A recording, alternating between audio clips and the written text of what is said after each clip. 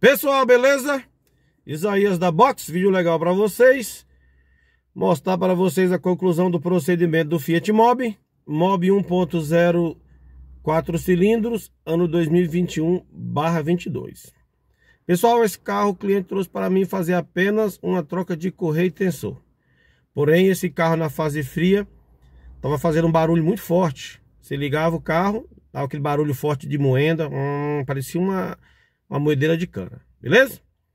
Então, a hora que eu liguei o carro, ouvi o barulho estranho, falei para o cliente. O cliente autorizou e tiramos o carro desse veículo para fazer uma descarbonização. Tinha muita borra no motor desse veículo, galera. Muita borra mesmo. Tá bom, eu vou ligar esse carro aqui a primeira partida do dia. Agora são sete e pouco da manhã. Ainda tô de chinelapa. Mostrar para vocês aí. Veja aí que eu tô com as canelas de fora ainda, galera. Tá só começando o dia, ainda são sete e pouco da manhã. Apenas irei ligar esse carro aqui para mostrar para vocês que não tem mais barulho no motor. Vamos lá.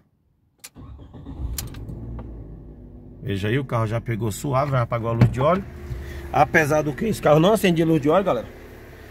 Esses, esses carros Fiat, Volkswagen, Motor E 111. Pessoal, esses carros numa situação da bomba estiver trabalhando com restrição de passagem de óleo por ela, faz muito barulho. Vejam aí, galera. Ó. Por que, que esse barulho engana, pessoal? Pelo fato de que a luz de óleo não acende.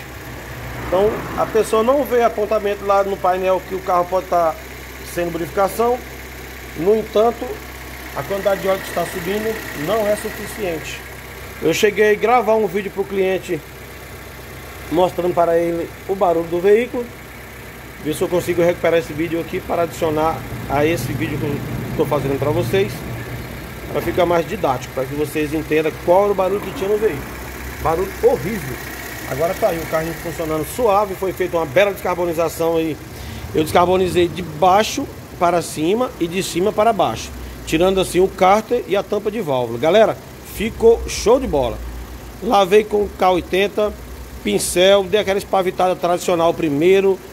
É, usei, além do pincel, usei também escova de aço, chave de fenda, uma faquinha para espavitar. Galera, eu fiz um negócio de outro nível, de outro mundo. Após tudo isso aí tá limpo, peguei o jet, dei um jato forte de água aí nesse cabeçote de cima para baixo e lá no bloco de baixo para cima. Galera, o carro ficou show de bola, tá? Vou ver se eu consigo localizar para vocês aqui a filmagem que eu mandei pro cliente. Vou adicionar aí para que vocês entendam aí a quantidade de borra que tinha nesse veículo. Beleza, galera? Tem outro vídeo mostrando aí. Esse aqui é apenas o complemento. Borra até mais tarde aí, ó. Como eu havia previsto, ó. Isso aqui tá virado nos etéreos, ó. Ó. Produto aqui, pincel. É um serviço artesanal, tá? Tiramos por baixo aqui, ó. Já estão iniciando a limpando aqui por baixo também, ó. Tá? Aí a gente vai limpar de cima para baixo e de baixo para cima. Para a limpeza encontrar com a outra aí e resolver definitivamente. É isso aí, dá moral para nós. Se inscreve no canal da Box, compartilha o nosso conteúdo. Dê like no nosso vídeo. Tamo junto. Um abraço.